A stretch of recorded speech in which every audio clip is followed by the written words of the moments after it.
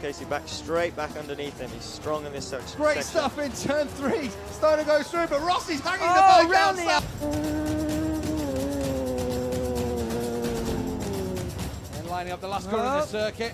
Oh, and Stoner, Stoner uh, runs it he's wide. off. And he's going to run it wide and onto That's the gravel. That off. could be the end of the race. He's He's gone down. down. Wide and onto That's the gravel. That off. could be the end of the race. He's He's gone down. down. Wide and onto That's the it, gravel. That could be the end of the race. He's He's gone down. down. Wide and onto That's the it, gravel. That could be the end of the race. He's He's gone down. down. Wide and onto That's the it, gravel. That could be the end of the race. He's He's gone down. down. Wide and onto That's the it, gravel. That could be the end of the race. He's He's gone down. down. Stoner in second position has gone down. Still running.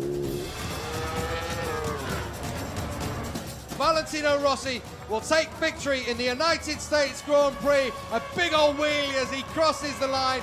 A brilliant, brilliant performance from the past master, Valentino Rossi.